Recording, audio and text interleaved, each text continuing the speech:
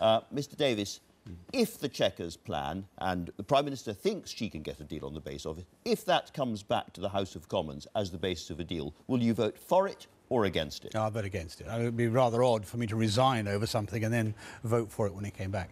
In my view, uh, the Chequers proposal, it's not a deal, we shouldn't call it a Chequers deal, it's the Chequers proposal, uh, is actually almost worse than being in. I mean, we will be under the rule of the European Union with respect to all of our manufactured goods and agri-foods. Uh, that's uh, a really serious concession. What about take back control? Doesn't work.